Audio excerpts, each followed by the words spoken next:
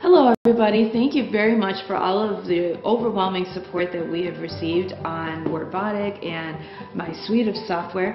This is a private blog that I'm putting together to update you on things that are happening with Wordbotic, my other software developments, as well as my business. And as you can see, my little girl is here, Nikita. Hi.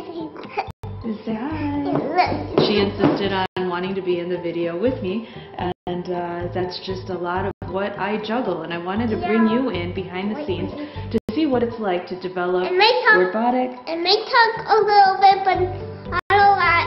So Okay. you may hear the scream. Okay. um, to see what it's like behind the scenes to develop software like Wordbotic and some of the other software developments that I have. I want to thank you for your support. I've had a lot of support. and We have a lot of really exciting things that are in the works, and this is going to be the area where I can share that with you. You think me too?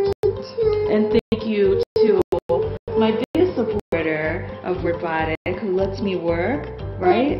To Nikita, which is Nikita is I, I, I just made my first YouTube video Yes, she just made her first YouTube video. before So- she recorded this video.